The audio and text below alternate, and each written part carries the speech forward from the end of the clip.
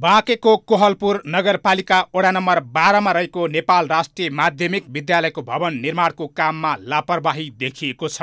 विद्यालयको भवन निर्माण कार्य भइरहेको भए तापनि भवनको जगमा कमसल इट्टा प्रयोग भएका छन्। जिल्ला समन्वय समिति बाँकेबाट विद्यालयको भवन निर्माणका लागि पचास लाख र जनश्रमदानको छ लाख चौसठी हजार रुपियाँ विनियोजन भएको थियो। विद्यालयका प्रधानाध्यापक आनन्द प्रसाद भट्टराईका अनुसार प्राविधिक नाप जाँच गरेर जगमा पुराना इट्टा प्रयोग गरिएका छन्।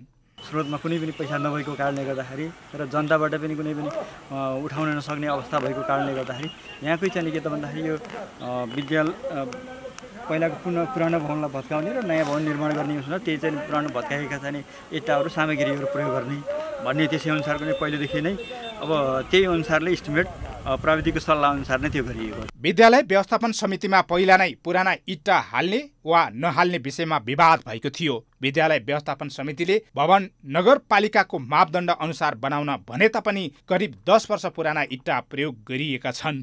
पहिला भत्काउनु पूर्व हाल्ने र नहाल्ने विषयमा पहिले यसमा डिबेट भएको थियो छलफल भएको थियो। हाल्ने भएपछि अब इस्टिमेटको आधारमा नगरपालिकाको माप यो हाल्न मिल्छ मिल्दैन भन्ने कुरो त्यस बेला पनि छलफल भएको हो। यता भवन निर्माणको जिम्मा पाएको उपभोक्ता समितिका संयोजक रूपसिंह डाँगीले छ लाख बढी रकम श्रमदान गर्नुपर्ने भएकाले त्यो सम्भव नभएको र विद्यालयसँग आवश्यक रकम नहुँदा पुराना इट्टा प्रयोग गरिएको बताउनुभयो। हाम्रो पचास लाख रुपियाँ जिल्ला समन्वय समितिको छ लाख चौसठी हजार एक सय कति समथिङ पैसा चाहिँ हाम्रो चाहिँ विद्यालयले बिहोर्ने छ स्टेटमै छ प्रष्टै छ स्टेटमा विद्यालयले मैले गुहार्दा के भने विद्यालय चाहिँ रुपियाँ छैन। हाम्रा यहाँ निज स्रोतबाट चलेका विद्या शिक्षकलाई तलब खुवाउने पैसा छैन।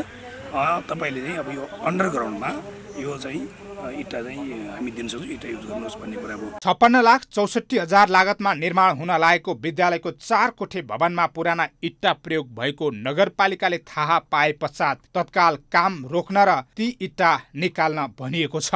त्यहाँ पुग्दाखेरि त्यहाँ विगत दस बाह्र वर्ष पहिलेको एउटा भवन रहेछ त्यसलाई भत्काएर त्यसबाट इँटा निकाल्ने र त्यो इँटालाई चाहिँ यो नयाँ घरको हामीले बनाउन लागेको घरको जगमा चाहिँ प्रयोग गरेको पाइयो।